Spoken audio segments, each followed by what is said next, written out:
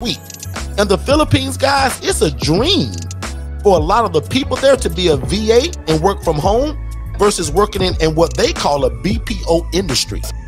So when they say BPO industry, what they mean that over there they may work for a JC Penney, for a Target, for a uh, AT&T, for a Verizon, any Americanized company that you can think of here. Think about when you guys do customer service phone calls when something wrong in your house or or your internet down. You guys are talking to somebody in the Philippines most of the time.